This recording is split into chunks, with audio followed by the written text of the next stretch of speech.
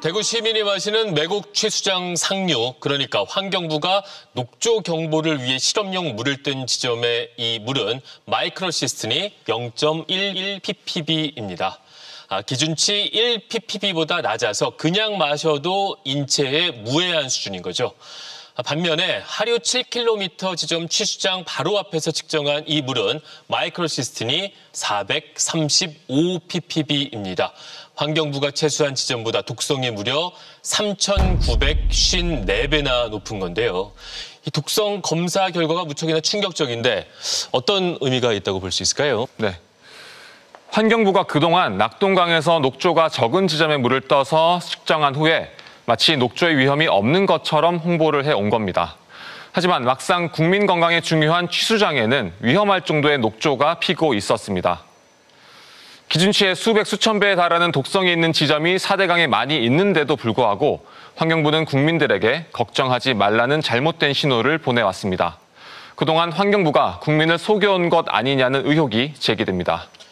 WHO 세계보건기구가 물에 들어가지 말라고 금지하는 기준치의 수십, 수백 배가 넘는 독성이 있는 곳에서 수상 레저 활동이 아무런 규제 없이 이루어지고 있는 것은 무척 걱정스럽습니다. 또 독성이 미립자인 에어로졸을 통해서 전달된다는 연구도 해외에 많이 있는 만큼 이 녹조가 많은 강 근처에 사시거나 그런 강을 자주 이용하는 시민들은 유의하실 필요가 있겠습니다. 강물이 온통 녹색으로 보일 만큼 녹조가 창궐한 금강. 물놀이를 즐기는 사람들이 있습니다.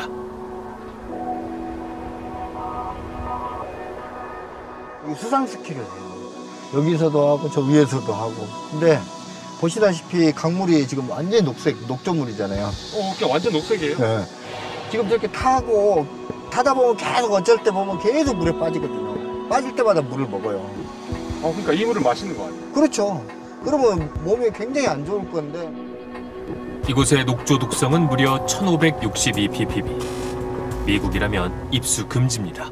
미국 같은 경우는 그렇게 그러니까 그런 recreation을 하는 경우에서는요 20 ppb 이상이면은 아예 contact를 하지 말라고 그렇게 경고를 드리죠. 아, 20 ppb 이상이면은 contact를 하지 마라. 네. 말하자면 물을 만지지 마라. 네, 물을만 do not touch. 아, 예. 배를 타고 낚시를 하고 그러면 아무래도 그게 에어로졸이 생기죠. 예, 예. 음. 근데 그게 에어로졸로 들어가는 것뿐만이 아니라 또 이런 그 사이노박테리아가 점막에 이제 흡착이 돼서 또 자랄 수도 있고 아, 그래요. 음, 음. 더 전국적인 문제는 사대강 인근의 농작물입니다. 금강 인근 농수로 녹색 강물이 흘러들어옵니다. 그 양수장에서 요 바로 앞에가 금강이에요. 네. 양수장이 있거든요. 거기서 물을 펌핑해서 끌어올려요. 그러면 여기 관이잖아요. 네. 이렇게 해서 물이 와. 네. 이렇게 와서 농경지로 들어가는데 이제 여기는 이제 또 배수 관문이 있죠. 예. 이걸로 해서 이렇게 통해서 여기 지금 물이 또 나가고 있을 거예요. 농수로에 고인 물은 녹조로 범벅이 되어 있습니다. 물에서는 역한 냄새가 올라옵니다. 들판의 농작물은 이런 녹조물을 빨아들여 성장하고 열매를 맺습니다. 이 물을 가져다 쓰는 어, 농작물들, 그걸 먹고 사는 도시민들 다 똑같이 오염되는 거죠. 이건 누구 한두 사람의 문제가 아니에요. 여기에 생산된 농산물 다 서울로 가요. 농어촌 공사는 정수를 일체하지 않아요. 예를 들어서 어, 이 물로 땡겨서 사- 상추밭에 물을 주면 상추에 그대로 적용되는 거고 논에 그대로 적용되는 거고 아까 우리 콩밭에도 그대로 들어가는 거고. 예, 금강에서 농업 용수를 뽑아 올리는 용두 양수장입니다. 녹조 독성을 측정했더니 무려 1,509 ppb가 측정됐습니다. 농작물에 영향이 있을 수도 있는 거 아닙니까? 네, 요- 어, 영향이 있을 수도 있습니다. 지금 대부분의 연구들, 작물에서 마이크로시스틴이 어큐뮬레이션, 축적이 된다는 연구가 굉장히 많이 진행 이미 되어 있고요. 연구실에서 실험을 했을 때 저희가 약 사, 마이크로시스틴, 물에 포함된 마이크로시스틴의 40%가 농작물에 축적이 되는 그런 연구도 있습니다. 한국농어촌공사는 깨끗하고 안정적인 용수 공급을 통해 농산물 품질과 생산성을 높이도록 농어촌 공사는 그동안 녹조 독성이 농작물에 별다른 악영향을 주지 않는다고 홍보해 왔습니다. 정말 괜찮은 걸까? 1509 ppb라는 것은 어떻게 보세요? 굉장히 높은 농도라고 생각합니다. 예. 이 정도인데도 농작물에 영향이 없다고 볼 수 있을까요? 그거는 뭐 실험을 안 해봐서 여기까지 이 높은 농도까지는 내가 뭐라고 답변을 드리기가 좀. 그러니까. 예, 예. 어떠세요? 그런데도 이런 물이 지금 수로로 지금 가고 있지 않습니까? 이게 실처럼 돼 있는 거 아닌가요 혹시? 실처럼이 아니라 녹조입니다, 이게. 요거 제가 하나 보내드릴까요? 처장님한테? 네 한번 보내주시면 예, 감사하겠네요. 예, 예. 한번 보세요. 하고. 보시고요. 2016년 농어촌 공사는 녹조의 독성이 농작물에 미치는 영향을 연구했습니다. 연구 대상은 벼. 당시 보고서는 벼가 유해한 녹조 독성으로부터 안전하다는 결론을 냈습니다. 그때 한 해줄 때는 사실은 벼를 위주로 했었습니다. 네네. 했을 때 그 우리나라에서 농산물에 미치는 영향은 없다고 이렇게 결론이 났습니다. 농어촌 공사는 독성 물질이 포함된 물로 벼를 키웠습니다. 그리고 그걸 근거로 안전하다는 결론을 낸 건데 당시 실험에 사용한 물의 가장 높은 독성이 24.72 ppb. 그러니까 상대적으로 깨끗한 강물로 실험을 했던 겁니다. 뭐 한 1000 ppb 이렇게 되면은 그게 그 실제로 그 물이 만약에 들어간다면은 농작물에 에, 흡수가 될 수 있는 거 아닙니까? 물론 그렇죠. 그다음 식물에 독소가 흡수가 된다는 것은 많은 논문들이 나와 있습니다. 근데 그걸 부정하는 보고서니까 예, 그 점은 이제 문제가 보고서가 나온 배경도 의심스럽습니다. 보고서에는 녹조 독성이 농작물에 미칠 악영향에 대한 국민적 우려를 불식시킬 필요가 있어 연구를 했다고 적었습니다. 미리 방향을 정해두고 결론을 끌어낸 것 아니냐는 의혹이 제기됩니다. 문제가 있다고 비판받아온 이 논문이 정부의 공식 입장이 됐습니다. 환경부 문서에도 녹조 독성이 농작물에 미치는 영향이 거의 없다고 적었습니다. 어, 지금까지 어떤 국내의 그 전문 연구기관에서 이 조사한 바로는 바로는 어, 그런 사례는 에, 저희가 어, 없는 것으로 그렇게 파악을 좀 하고 있습니다. 좀 일부 뭐 그런 어, 개연성이 있을 수는 있겠지만은 어, 국가 연구기관에서 그렇게 정부 어, 결과로서 발표한 것은 없습니다. 네, 해외 과학자들의 연구에 따르면 녹조가 핀 물로 키운 농작물 가운데 특히 이 수분 함유량이 높은 상추나 배추, 무 등 이 채소에서 녹조 독성이 많이 검출된다고 합니다. 하지만 우리 정부는 한 번도 이 채소의 녹조 독성 검사를 실시한 적이 없습니다. 혹시 녹조가 포함된 물로 채소를 키우는 사례는 없는지 또 그 채소는 녹조 독성으로부터 안전한지 실태 조사가 시급해 보입니다. 이렇게 위험한 녹조 문제를 해결하려면 결국 보를 개방해서 고인 강물을 흐르게 해야 합니다. 보 개방을 비롯한 4대강 재자연화는 문재인 정부의 공약이었습니다. 그 공약은 제대로 지켜졌을까요?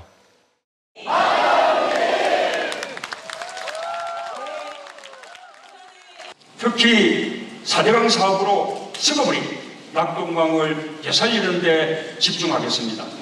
4대강 보를 상시 개방하여 강이 다시 흐르게 하겠습니다. 4대강 재자연화는 문재인 대통령의 핵심 공약이었습니다. 당선된 뒤에도 숨은 개방 의지를 보였습니다. 녹조 발생 우려가 심한 6개 보부터 상시 개방에 바로 착수하도록 지시하셨습니다.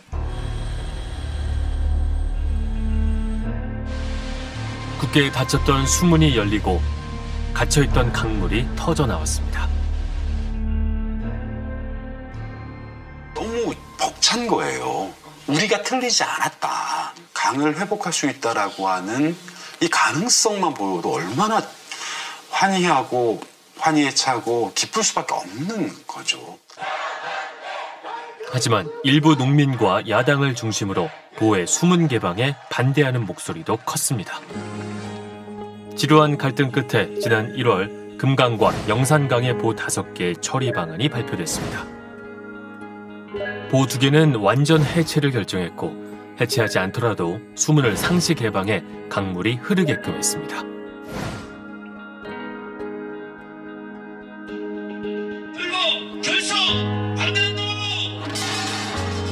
해체로 결정난 보 인근 농민들과 야당은 보 해체를 격렬히 반대했습니다. 위까지 다차 있었죠. 한 15, 16점.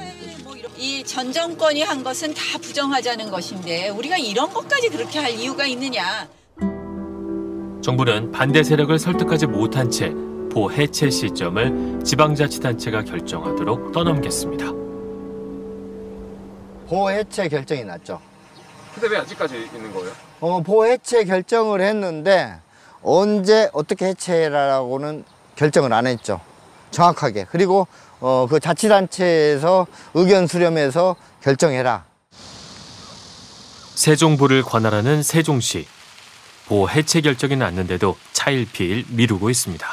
세종보를 해체하되 해체 시기에 관해서는 국가 물관리에서 정해주질 않았어요. 시민협의체를 어, 작년 10월 달에 발표를 했고 이런 다양한 의견들을 연구진과 함께 모색을 하고 있습니다. 보 위의 도로는 유지하되 아래쪽 물막의 시설은 해체하는 것으로 결정된 공주보.